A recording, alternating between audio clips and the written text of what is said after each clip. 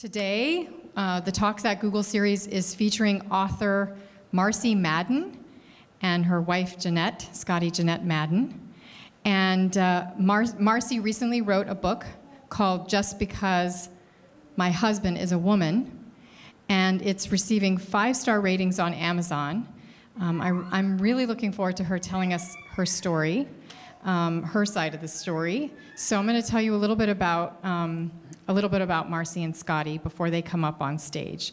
For those of you that are here uh, in the room, we've got free books. Um, so if you're nearby and you want to come, uh, please make your way over. We've got at least 50 copies, and um, ping me afterwards if uh, if you want extra. If you want some, we'll uh, we'll send we'll send you the extra. Marcy and Scotty are co-founders of Zuzubeen Press, an independent publishing company dedicated to creating a safer, more loving world for LGBTQIA plus people and their families. They've been married for over 28 years. I've known them for about 20, 20 plus of those years. and each has a rich and varied background as business owners and also in the production and TV world. First, Marcy. Marcy went from managing several psychiatric offices in Marin and also has owned several production companies. She's been a director, producer, voiceover talent, and wildlife rehabilitator. And now she's an author. Her new book was released on October 11th, and it's entitled Just Because My Husband is a Woman Marcy's Side of the Story. Scotty, who was just at Google last year giving her talk, has, has served in several capacities as well in the TV and film industry. He's been a director, she has been a director, a screenwriter, and adventure documentary reality showrunner. More recently, Scotty has added speaker and author to her bio.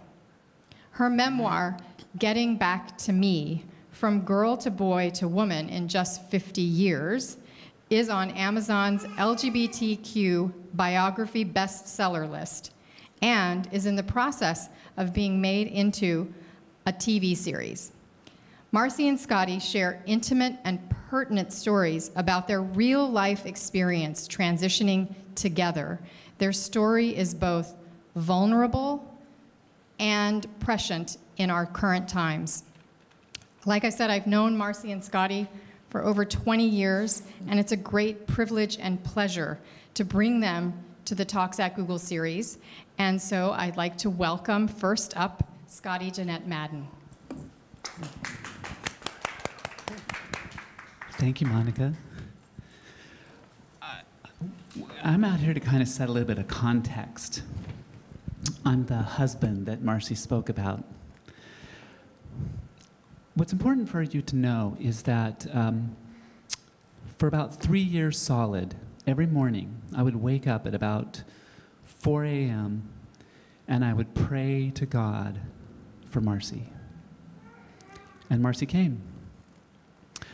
I wasn't praying for her by name, but I knew in the deepest fiber of my being that Marcy was out there, and I just wanted God to finally bring her to me.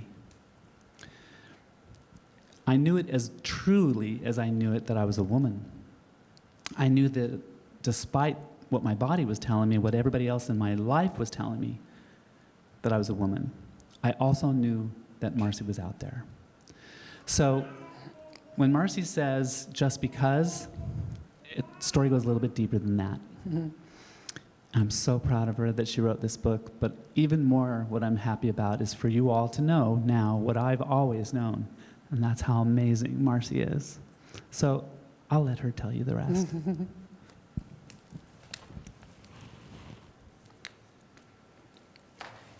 Thank you, my love. Thank you, Monica, so much. It really is a pleasure to be here. Being here with Scotty's book last year, I had no idea that I would write a book. Um, and I guess I should tell you that it's obvious because of what Scotty just said and the title of my book that there's not going to be a big aha ending at the end of the talk. You have that up front. So um, the point of what I want to be here for today is um, to tell you the part that comes after the ellipses, just because my husband's a woman, dot, dot, dot. Marcy's side of the story. Uh, and uh, just a little bit of a warning here. I don't know if any of you have ever thought that you might want to write a book. I think it's kind of a romantic idea that a lot of us share. I certainly did. But my problem was I thought I would never have a subject matter. So just, you know, this is a warning to be careful what you wish for. So, yes, my spouse, Scotty, is transgender.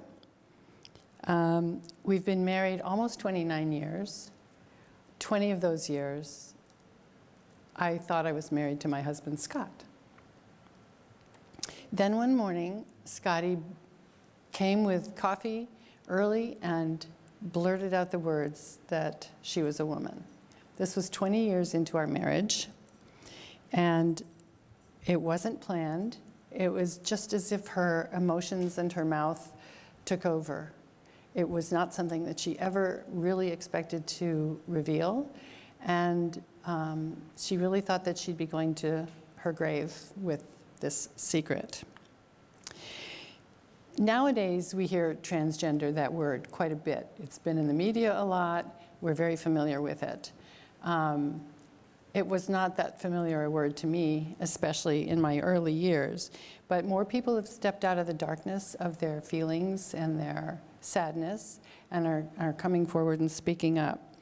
Um, of course, we still really have a long way to go to find acceptance because we can sense that, I think, in the political um, arena. Although, after the elections from last night and the results, I think we've got some positive movement forward again in that arena too. So Scotty wrote her book about coming out. And we don't really hear much about what goes on when a person's married and what happens to the spouse when one person wants to transition.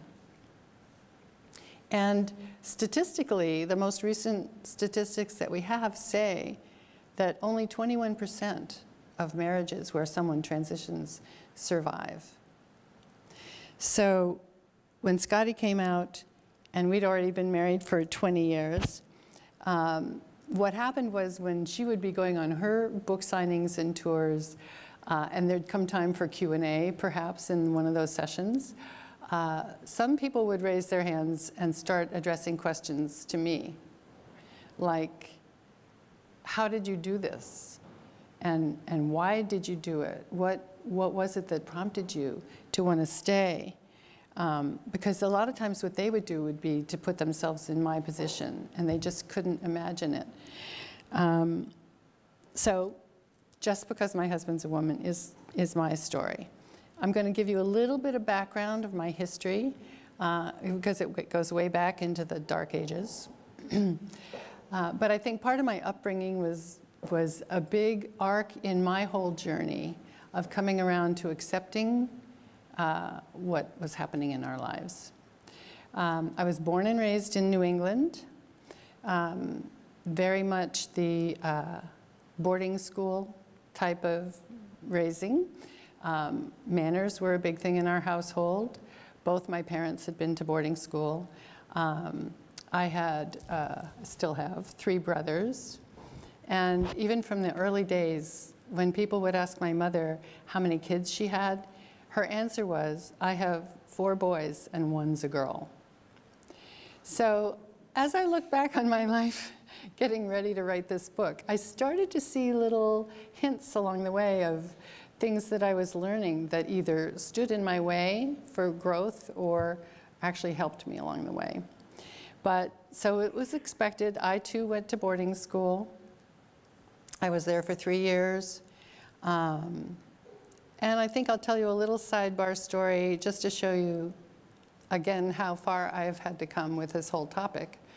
Um, but I remember once sitting my roommate down after I'd been there for several months, and I said, have I done something wrong? Have I said something wrong to the other girls in the house? They just seem like they're very standoffish, and I feel like maybe I said something I wasn't aware of that pissed them off. And she said, Oh, well, and she shut the door to our bedroom and she sat on the bed opposite me and she said, Well, they think you're a lesbian. And I went, Oh my God, what's a lesbian? so to say I was somewhat innocent is perhaps an understatement. Um, after boarding school, I went to a two year college, a women's college in upstate New York, and uh, majored in an overseas program, which took me to Geneva, Switzerland for a year, where I, where I worked. And um, after that, I came home in 1969, and I ended up moving to California, starting out here in the Bay Area. And um, for several years, I was working for um, psychiatrists during those years. Um, there's a few stories about experiences with them and of that in, um, in my book. Some of it was quite humorous. And also, another little breadcrumb that I'd forgotten about until, again, I went back in my memory to think about what to write about in my book, and I went, oh, wait, I was kind of exposed to the subject of transgender back then, but I hadn't even remembered it or put it together until looking back. So after several years with the shrinks, um, I started in the production business. I volunteered for a company, and then I ended up being one of the owners of it. It was a recording studio in San Francisco. Um, I had gotten married while I was still working for the psychiatrists. Then, when I went to work at the recording studio, I fell in love with uh, one of the partners in that. And um, so ended up in a divorce, moving into marriage number two. And as I look back, what I realized was I really have always been looking for love. I always had been. And I felt like my parents had a storybook marriage. My dad would come home from work every night and find my mother first and give her a movie dip kiss when he got home and they'd sit and have a cocktail together and he would download his day. And he really she was his muse and his confidant and his advisor. And i just thought that's what a marriage should be like. And so when mine weren't fitting that or when it felt like the feelings were gone mostly probably just because we settled into an everyday life i thought the love was gone. And so that's how i would end up being attracted to somebody else and leave that marriage and go into another one um, believe it or not, I actually repeated the process again. So I met this wonderful, um, very creative, witty, funny um, writer who was with one of the ad agencies who was our client. And we started having lunches together. And uh, of course, I thought, well, this is the one. He's the one, you know. Number two was not working out so well. Uh, the chinks in the armor were definitely showing. So um, Sure enough, I broke off that marriage and entered number three. And years down the line of that marriage, I think I hung in there for a while, uh, he was the one who broke it off. So at least that was a little bit of a change in my pattern. Um, and he also had not been faithful. So uh, I realized I, I probably just needed to really reevaluate what I was looking for and how I was looking for it and needed some space to figure out who I really was. So I lived on my own for a while, and then along came Scott. I had no idea, because people ask me this all the time. No, I had no idea that Scott was anything but a creative, wonderful, thoughtful, loving, smart, witty, funny man who was um, very much in love with me and so this one, especially because I had taken the time, I hadn't leapt from one relationship to another, um, this just felt right. And we fell together pretty much from day one, except I get teased that I sent Scott home the first night because, you know, I didn't want to seem like I was too easy.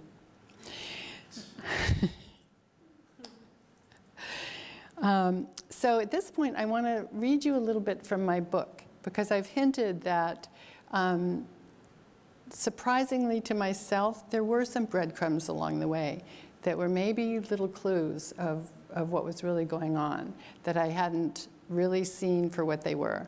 So um, this might tell you a little bit about what that was like for me. This is yours. No, I have, I have like, you know, placeholders and everything. I love your book.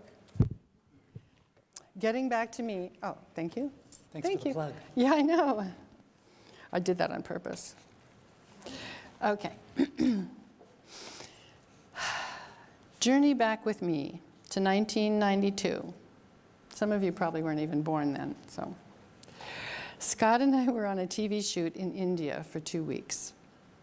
Being in India is like taking all the volume and color saturation knobs on your viewing and listening devices and turning them up to the max.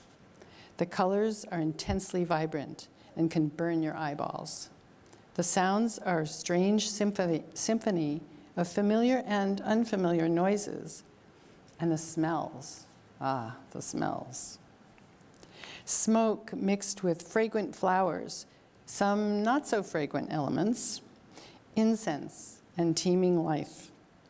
We visited temples and teachers and mountain shrines, and during the annual Magh Mela, we took a boat out onto the water at sunset at the sacred confluence of the three rivers, the Ganges, the Yamuna, and the Saraswati, where hundreds of people were wading and dipping in the water to be cleansed and to pray.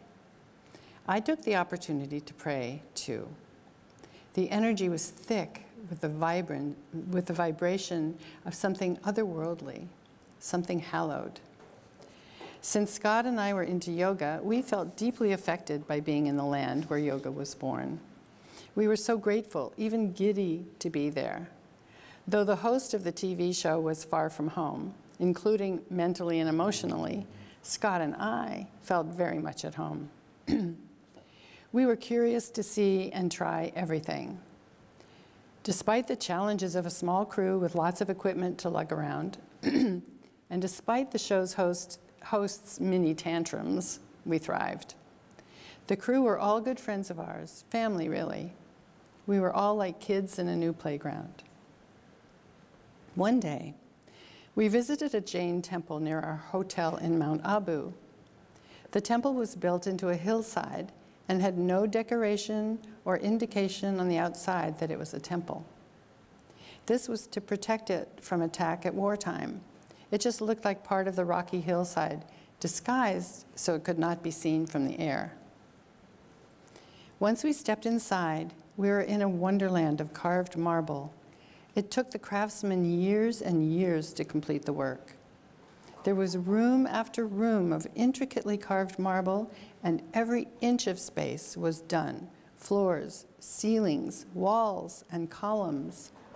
Often there were carvings within carvings, one carved marble column within another.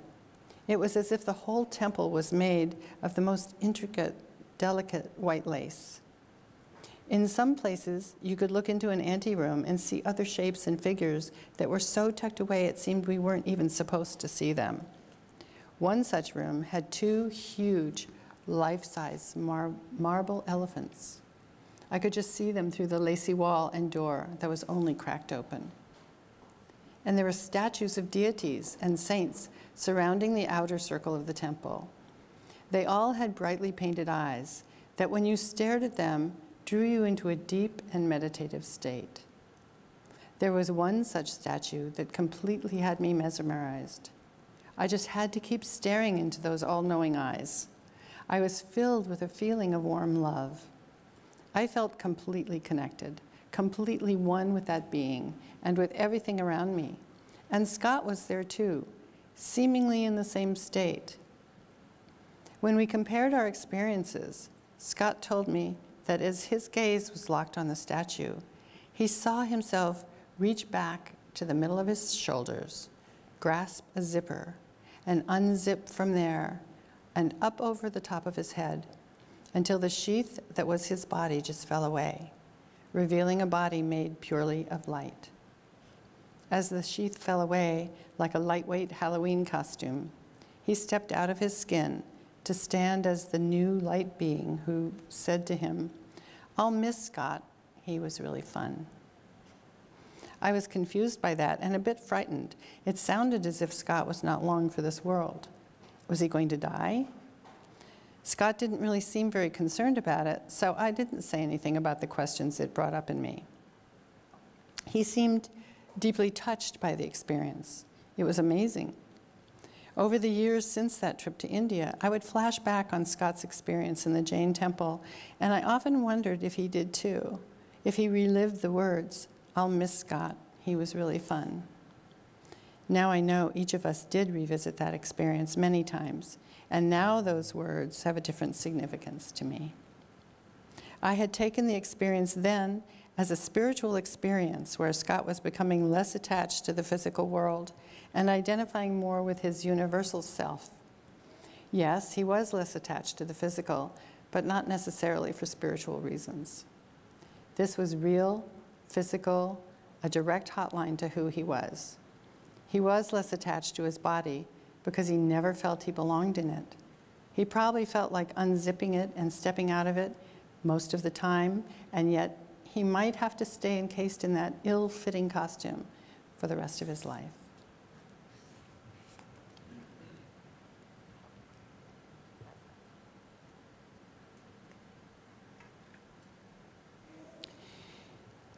So, you've had a little glimpse into my personal history. As I said, there's more in the book, some, um, some fun stories. This isn't all scary stuff. Um, though transgender has been around for centuries, it really, as I said, has not been talked about very much until more recently. And as people have talked about it and come out, some of the names you know, I'll let you fill in the blanks, um, and covered by the media. Um, one, of, one of my earliest experiences of this was when I was watching an Oprah show.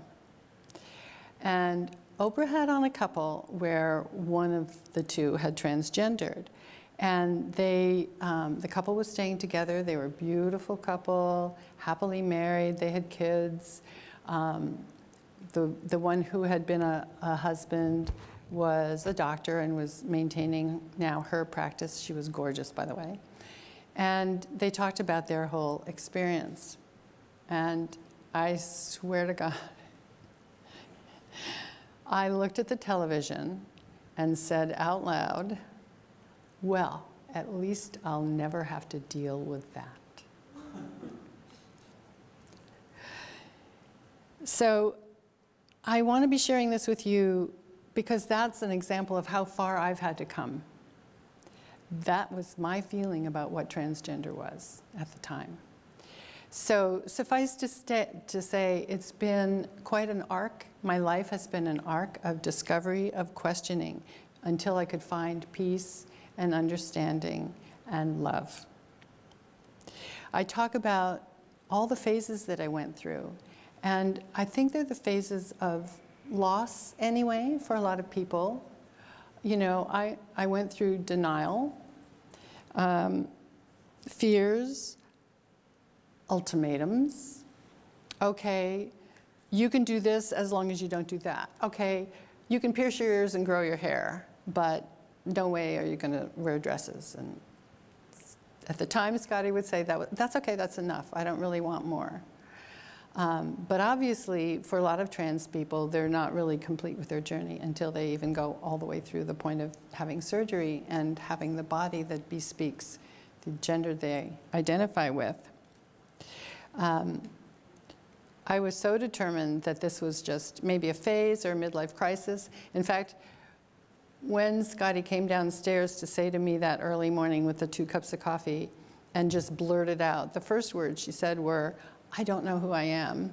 And so my first thought was, oh God, midlife crisis, you're going to want a Porsche. And suffice to say that as the journey progressed, I was kind of wishing it had been the desire for a Porsche.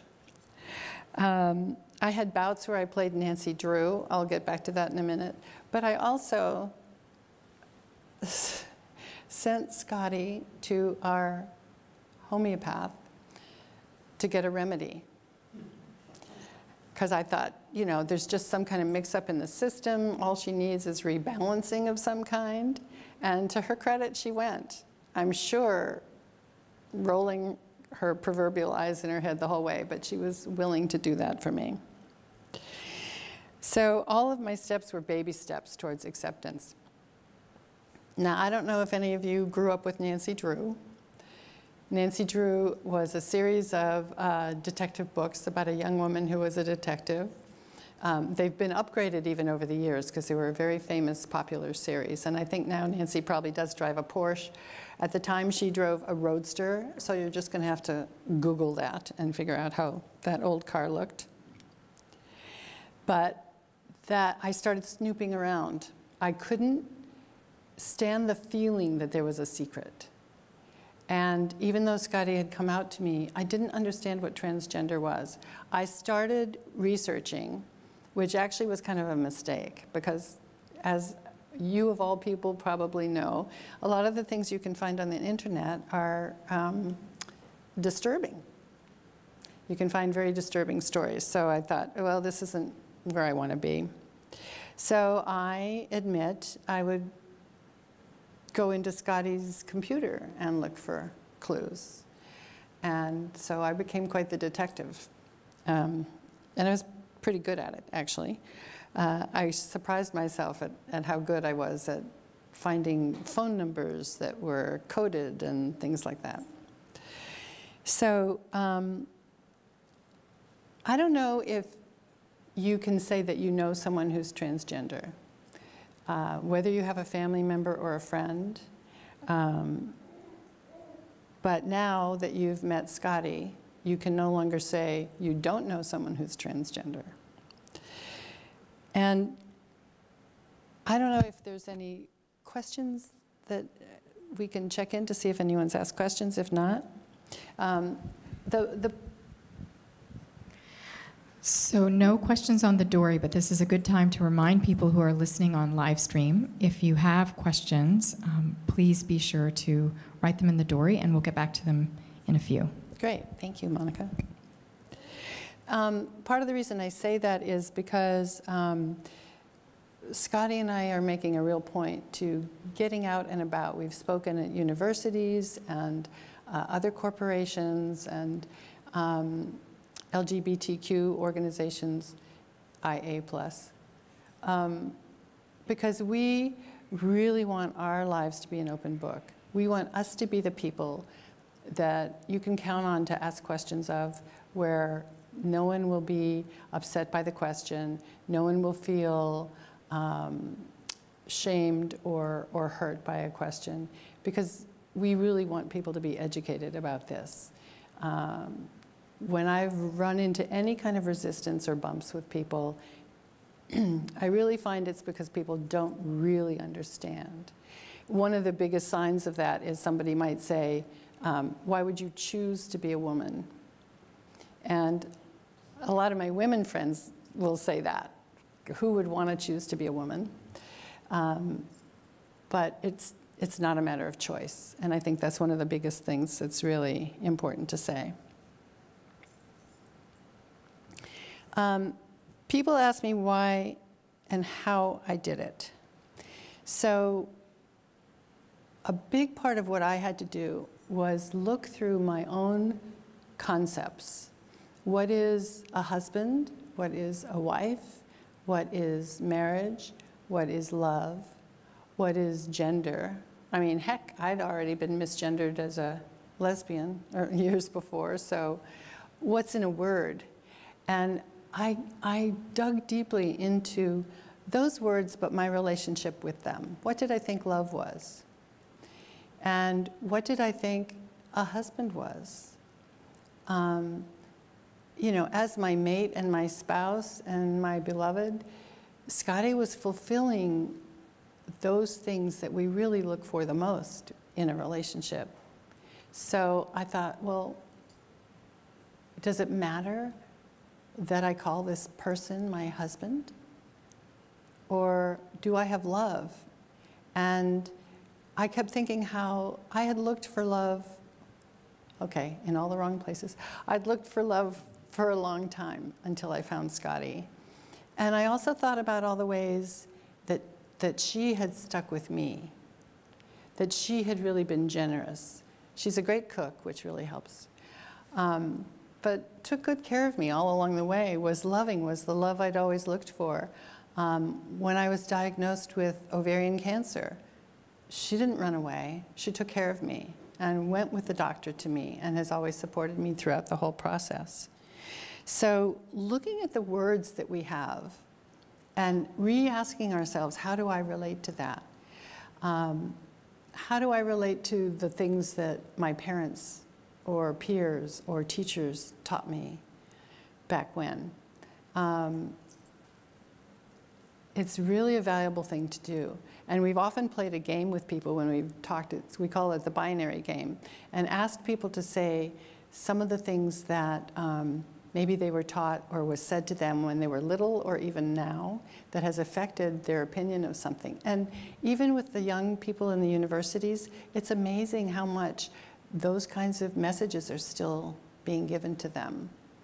You know, Scotty will often share how um, her dad would say to Scott, um, You run like a girl. Or if you're. if you're going to cry like that, Mary Jane, go put on a dress. So, first of all, that's a double whammy of putting a woman down, but also telling your son that he's less than by saying he's like a girl. Um, my mother really screwed me up because she um, wanted me to not like drive like a girl or throw a ball like a girl. But so she was the one who had to teach me how to do that. So that's kind of confusing.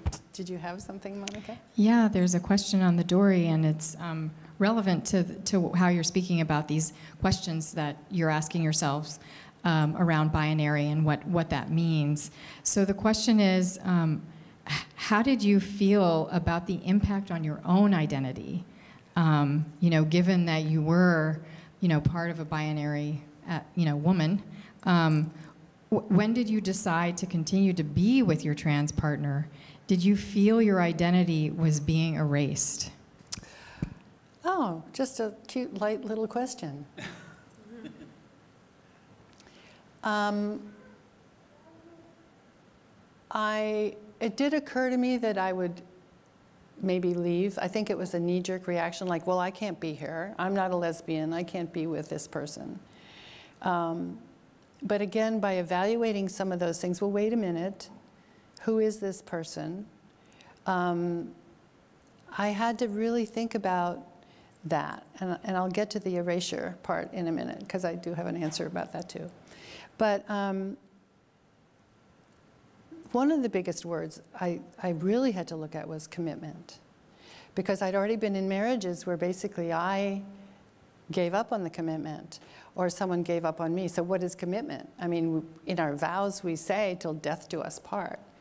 Um, so, and I started looking at other couples who have stayed together, like Michael Fox and um, uh, Christopher Reeves. And, you know, stuff happens in life and stuff happens to your partner. So do you walk away? As I said, Scotty hadn't walked away from me when I got a deathly ill diagnosis. So um, looking at commitment was one thing. Um, yes, it made me question a lot about me and me as a woman at first. Um, and I used to sometimes tease that, well, now I'm the one who wears the pants in the family. Scotty's very into feminine stuff, and I wasn't. I was a tomboy. So, uh, yes, it made me question my own identity as a woman. Um, another sidebar was because Scotty was getting so much attention, uh, I started to ask the question what am I, chopped liver? I felt it was more like I just pushed, I felt pushed aside a bit as a person. Um, couple things that helped me get through that was Scotty herself. Because, and, and I want to say this because sometimes you'll hear uh, that, that trans people are selfish. And I think especially if they come later in age, they come out later in age, they, they just want their life. They've put it off for long enough. Damn it, I want to be who I am. Scotty was very generous and patient with me. And I could beat on her chest and scream and cry and accuse. How could you do this to me? How could you lie to me this long? Um, and but learned because she was patient and we talked about everything. We worked it all out together. Um, that she wasn't lying to me, that actually she was the opposite of being selfish. She had um, pretended to be a man for all that time so that she wouldn't hurt me. So um, the other side of that is our friends. Thank God the, the friends that we have and the family that we have in our lives um, didn't allow me to be chopped liver for too long because pretty much as soon as they would hear the news, the next question would be turning to me and go, How are you?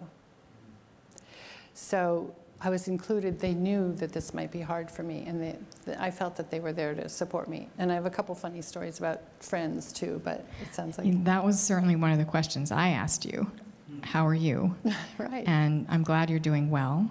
Um, that was uh, another question that has come up, actually, two questions. Um, one is, how has your network of family and friends changed over time? Uh, and a, a, question that I actually had too, uh, just out of curiosity, what in your day to day has changed? Like, what's different in your day to day life and your relationship with Scotty? Wow. Okay, you may need to remind me of some of those. So. Sure. Um, well, family and friends, so this is maybe a good place for me to tell a couple of my friends' stories. because I realized too, one of my biggest fears was telling people.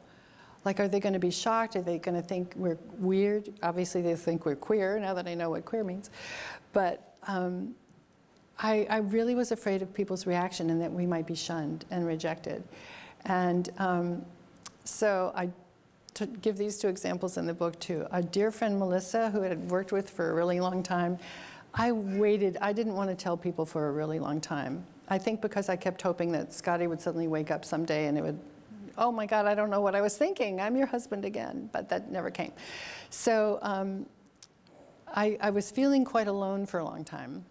And uh, I told my friend Melissa, who was there to visit, I said, you know what, I have something to tell you. And she went, what? And I said, Well, Scotty's a woman. And she said, Oh, thank God. I thought you were going to say you were splitting up.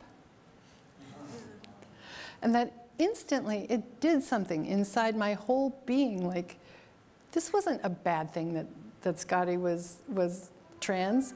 The bad thing was this love story that so many of our friends had subscribed to and looked up to and wanted to clone my husband to have one of their own like him. That's what mattered to them was our love and preserving that. So, so the other one was um, I was sharing with a, a, friend who is a lesbian uh, of our childhood crushes. And I had a mad crush on Richard Chamberlain who played Dr. Kildare in a TV series way back when I think TV was still black and white. But I just had the biggest crush on him. And she said, Oh, really? My crush was Hayley Mills. So um, I, I said, Yeah, I know. But then I find out that, that Richard Chamberlain is, is gay. And she goes, Yeah. And you ended up with Hayley Mills. nice. Oh, and day so to the biggest right? change day to day in your life and in your relationship with Scotty. I'm more into makeup now because I have someone who can teach me. I really saw how much I was a tomboy and I shunned makeup. And Scotty was so into it. At first, it really bugged me. But, um, but then I would watch her put it on and I'd go, oh, where'd you get that color? Or, so uh, makeup is a day to day change. Um, I think part of it is also my priorities have changed. Some of that has been with the diagnosis that I got, but um, I'm relying a lot on my humor. I, al- I always did, but I think that was also one of the things that got me through. And seeing the uh, synchronicity in everything that happens around me and how sometimes things are almost a joke by the universe or a perfect pun on life itself. Um, I'm,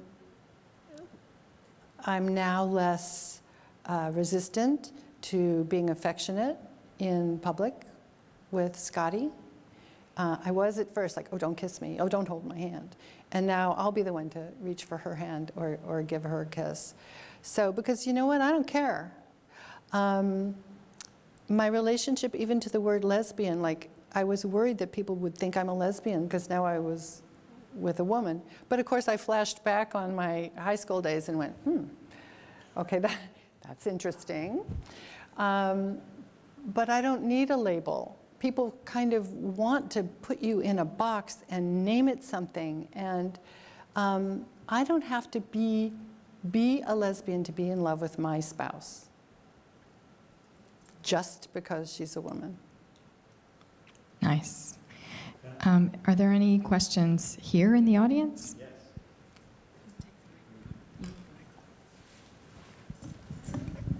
Mike Renners. Thank you. So, Marcy, my question is um, are, are there any, I mean, there's so many spiritual aspects to what you've just described, but are there any other lessons that were particularly powerful for you from a kind of spiritual point of view about what's happened? Um, yeah, thank you. Great question. Um, I think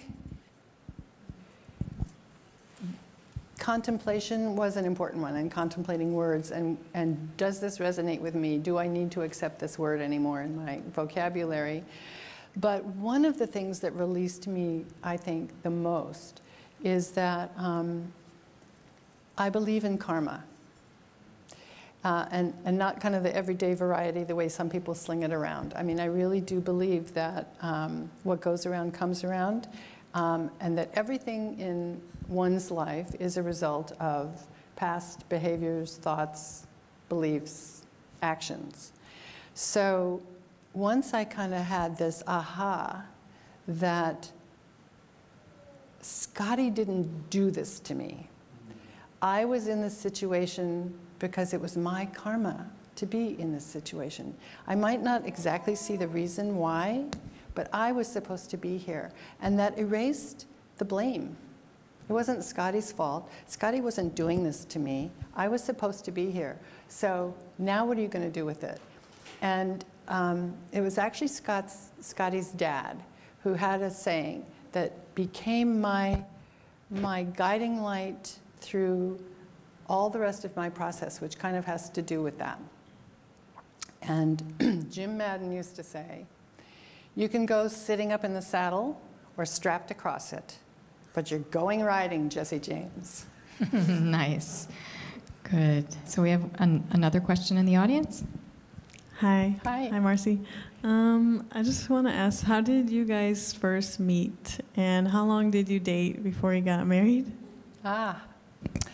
We first met when we were both working for a production company in San Diego. Um, apparently, when Scotty saw me, is this fair to say? Go for it. It was love at first sight. I had this little stumbling block, as I think I've told you that I was married at the time. Um, but Scotty and I struck up this great friendship, and we'd have great philosophical talks. Um, and I think this is one thing that was important, and I would actually offer as advice about relationships, uh, is that friendship is really a key, core, important ingredient. So we were friends first, and we'd have arguments about karma and philosophical things like that.